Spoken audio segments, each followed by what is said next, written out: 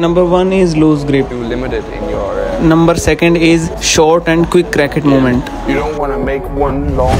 Number third is hit the smash at the highest point. Have a really short contact with the shot, so it's also sort of a surprise.